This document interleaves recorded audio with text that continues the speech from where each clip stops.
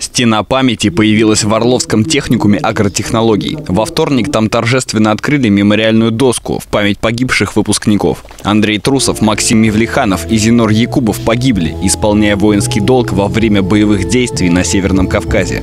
Каждый из них награжден посмертно Орденом Мужества. Об этих простых русских парнях теперь будет знать каждый, кто переступает порог техникума. Мы должны помнить и чтить свою историю мы должны не забывать тех, кто отдал жизни за нас с вами.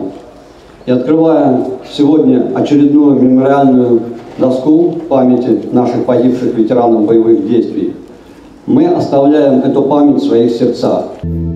В ноябре 2018-го активисты региональной общественной организации членов семей погибших защитников Отечества обратились с идеей установки доски к губернатору области. И вот спустя год она воплотилась в жизнь.